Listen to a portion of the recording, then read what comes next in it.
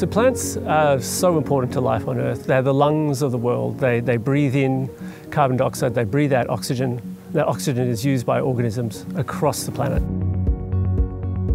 We have a massive challenge as plant breeders. We're dealing with a world that is hungry for more food, a world that has no more land to produce that food on, and we're facing challenges of climate change. Climate change is happening at an unprecedented pace, so we as scientists need to try and uncover the secrets of plants and find out how they've solved those problems throughout evolution and whether we can take advantage of that knowledge. Agriculture is going to need to come up with a variety of new approaches to help overcome some of the extreme challenges that we're going to face with climate change.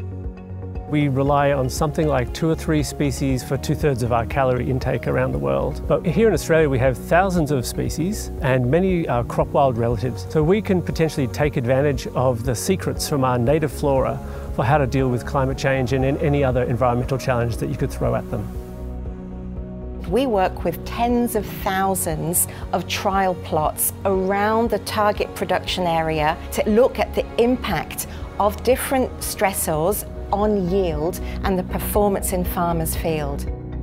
So the plants that I'm working on are actually Australian native plants and they grow in some of the most hostile environments on the planet. I'm hoping that by using these we can take some of the traits that the plants have evolved that can withstand drought, fluctuations in temperature and so on, to take those sorts of traits and bring them into our crop plants so that they can not just give you the best yield under optimum conditions, but are able to still yield when the climate is a challenge. The advantages of bringing together scientists with such diverse expertise is we can ask completely new, novel scientific questions, but also we can tackle age-old questions but a whole new way. In science you tend to get narrow and narrow with how you focus and with the centre it's good to have the incentive to uh, have a bit of more of a broader community. We're connecting together to a bigger picture and trying to see how we can all work together.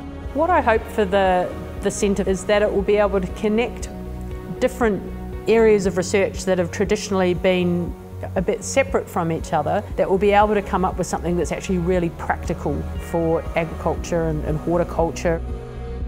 When you're trying to address a big global problem like food security, the challenge is so huge that um, you need the maths to be able to have a common language that transfers the biology across to the breeders. That's what the mathematician's role is.